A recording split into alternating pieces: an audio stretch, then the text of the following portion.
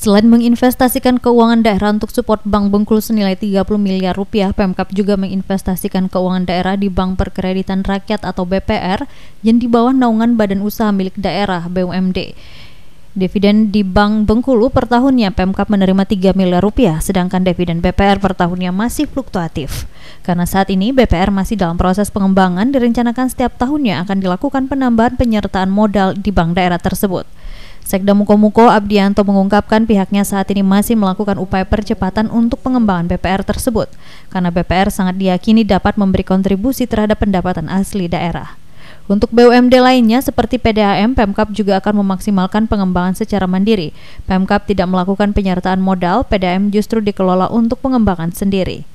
Uh, yang apa yang sudah berjalan dan itu sudah nilainya cukup signifikan adalah Pertama Bank Bengkulu.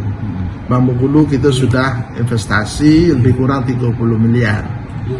30 miliar dan alhamdulillah kita juga sudah mendapatkan uh, imbal balik berupa dividen di Bank Bengkulu lebih kurang satu tahun itu sebesar 3 miliar.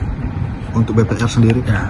Kemudian yang kedua, yang sekarang lagi apa menjadi idola kita juga, terkait dengan investasi uh, pemerintahan daerah adalah uh, pada Bank Perkreditan Rakyat, hmm. di mana kita sudah uh, menginvestasikan lebih kurang 10,5. Ringo Dwi Septio RBTV melaporkan.